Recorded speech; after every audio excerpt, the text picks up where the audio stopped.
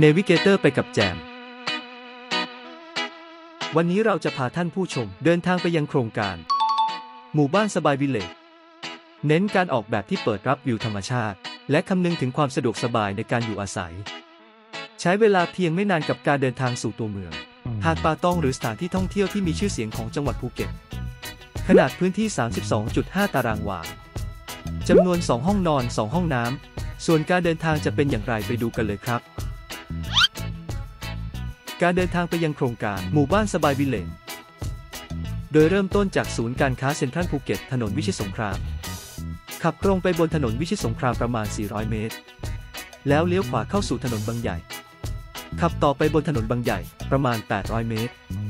ให้เลี้ยวซ้ายเข้าสู่ถนนเฉลิมพระเกียรติรัชกาลที่ 9 ขับไปเรื่อยๆ บนถนนเฉลิมพระเกียรติรัชกาลที่ 9 อีก 550 เมตร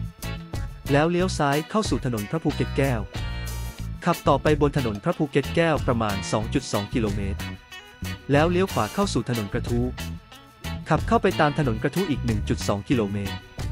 ให้เลี้ยวขวาเข้าสู่ซอยกระทู้6ขับตรงไปในซอยกระทู้6ประมาณ 100 เมตร ทางเข้าโครงการจะอยู่ทางด้านหน้าครับ ถึงแล้วครับโครงการหมู่บ้านสบายวิเลจ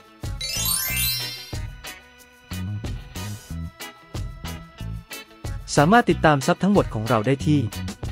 Facebook Fanpage J Asset Management และช่องทาง YouTube Channel เรื่องบ้านบ้าน by J Asset Management